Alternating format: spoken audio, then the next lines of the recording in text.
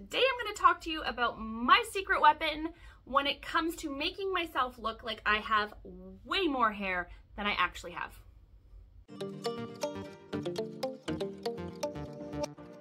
One of the number one comments I get on my styling videos, any of my tutorials where I show people how to do a style, is that they just don't have enough hair for that. And while I'm aware that there are a lot of people out there that have less hair than me, I don't have that much. I've just gotten really good at making it look like I have a lot more hair than I do. And one of the biggest tools that you can utilize to do that is dry texture spray. This one right here is my favorite. This is the Surfer Girl by Sexy Hair and it is just the one I go back to time and time again. I love the smell, I love the texture, I love that it's a spray instead of just a shaking powder. Um, there are other ones and you might find a different one that you like better but this is the one that I like the most. As always, you can find all the products that I recommend in my Amazon storefront. Um, and I'm sure most usually can find this stuff at like Ulta. I think Sephora might even carry sexy hair. So there's lots of places to go and buy it. I love dry texture spray because not only is it gonna give you volume, but it's got hold. So it is like the perfect combination of dry shampoo and hairspray. If dry shampoo and hairspray had a baby, it would be dry texture spray. You can get a similar effect with a dry texture powder, but I do find the sprays are a little easier to distribute everywhere. I prefer the powders when I'm really just looking for some lift in my root area.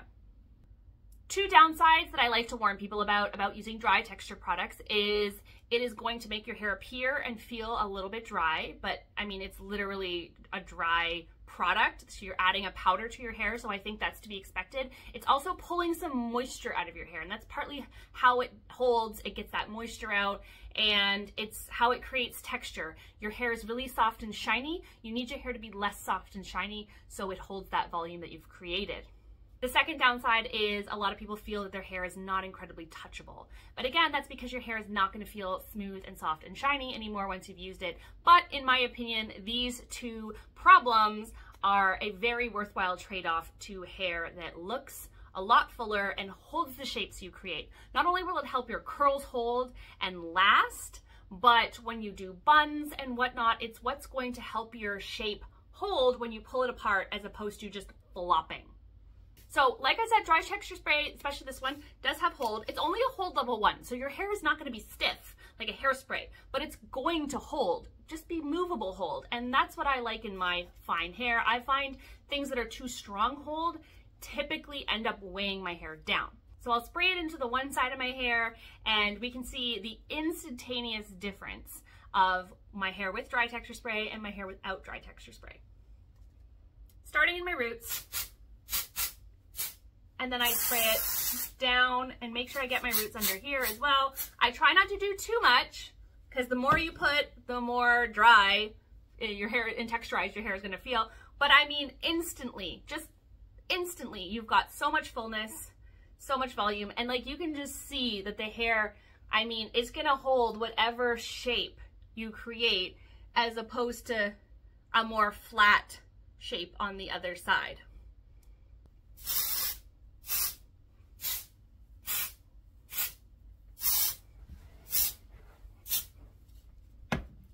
like this are just gonna create so much space in your hair because of the texture that it will really appear like you physically have twice as much hair as you do and make it super easy for you to plop your hair up in a style where it looks like your hair, I mean, even my bangs look so full when this stuff is in my hair and I could just stick a clip in my hair and it looks like I have a ton of hair. And if you go back through some of my shorts and stuff, you can see how fine my hair is. If you're new here and you don't know how fine and flat my hair is, just look at some of my videos where I don't have styling products in because this stuff, it is life-changing if you have fine hair. So I hope you try it out.